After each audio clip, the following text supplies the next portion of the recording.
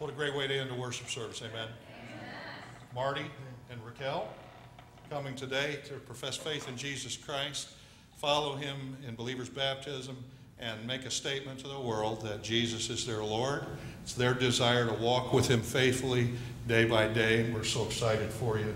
and uh, if, if you're rejoicing in that decision, just raise your hand, wave out. So this is now, we're talking about church family, right? So you have this many brothers, brothers and sisters to encourage you, walk with you, pray with you.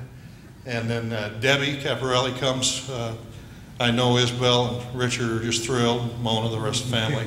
And she comes, say, I've known Debbie for a few years. And uh, she came forward last Sunday and said, I want to be baptized, I want to follow the Lord in believer's baptism.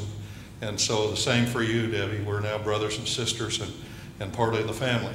And we believe, we believe God has sent you to us to bless you and that God's got something really special he wants to do in and through you among us. So we're looking forward to all that God's going to do in these days.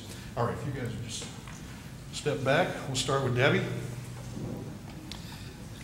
So, Debbie, do you believe that Jesus is God's Son? Yes. You've asked Him to come into your life and to forgive your sins and to be your Lord and your Savior. Yes. Amen. Then, upon your profession of faith in Jesus as Lord and in obedience to our Lord's command, it's my joy to baptize you, my sister, in the name of the Father, the Son, and the Holy Spirit.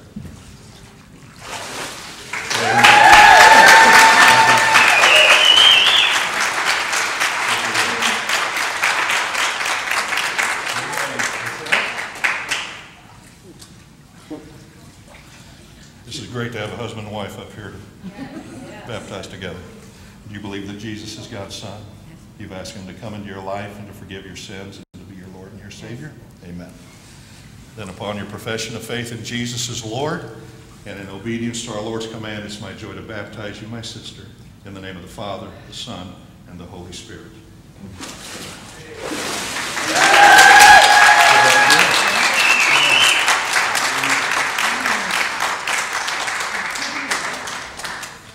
Amen, Marty.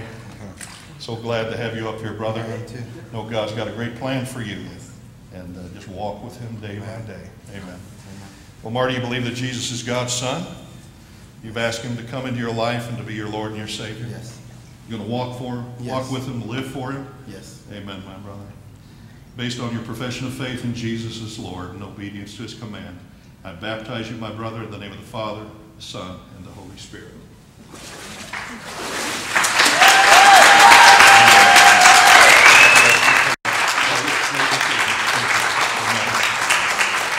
Amen.